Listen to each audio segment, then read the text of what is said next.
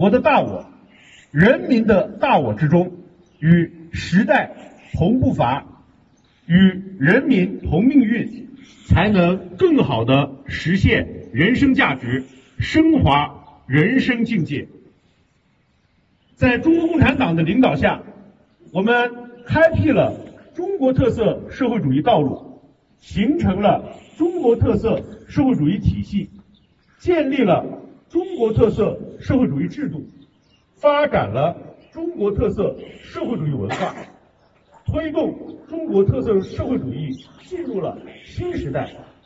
中国人民拥有了前所未有的道路自信、理论自信。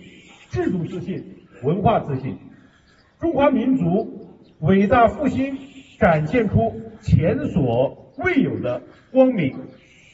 所以，中国社会发展、中华民族振兴、中国人民幸福，必须依靠中国共产党的坚强领导，必须坚定不移地走中国特色社会主义道路，必须深入学习贯彻。习近平新时代中国特色社会主义思想必须发扬爱国爱教优良传统，必须信戒学修勇猛精进。精进不只是一句响亮的口号，而是要在做好每一件小事、完成每一项任务、履行每一项职责中见功夫、见真知。精进的道路不会是珠圆畅顺的，往往障缘涌现，充满烦恼。但有愿者，则必能究竟圆满。依佛发愿，愿修行，方是我等之本地风光。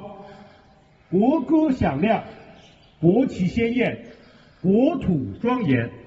让我们同发菩提心，同圆菩提愿。祈祷伟大的祖国繁荣富强，伟大的中华民族复兴昌盛，伟大的中国人民幸福安康。也回向法门寺，愿法门寺的明天越来越好。我宣布，法门寺二零一九年五一国际劳动节升国旗仪式吉祥圆满。